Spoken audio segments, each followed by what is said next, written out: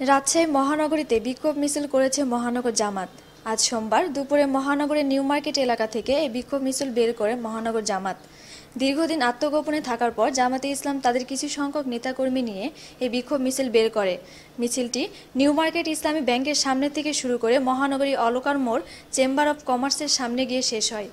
তবে পুলিশ আসার আগেই তারা মিছিল শেষ করে পালিয়ে যায়। জানা গেছে, ভারতের শিয়া ওয়াকফ বোর্ডের সাবেক চেয়ারম্যান ওয়াসিম রিজভি পবিত্র কোরআন শরীফের ছাব্বিশটি আয়তের উপর আপত্তি তুলে পরিবর্তনের আবেদন জানিয়ে ভারতের সুপ্রিম কোর্টের দায়ের করা রিটের প্রতিবাদ জানিয়ে এই বিক্ষোভ মিছিল বের করে রাজশাহী মহানগর জামাতে ইসলামের নেতৃবৃন্দ।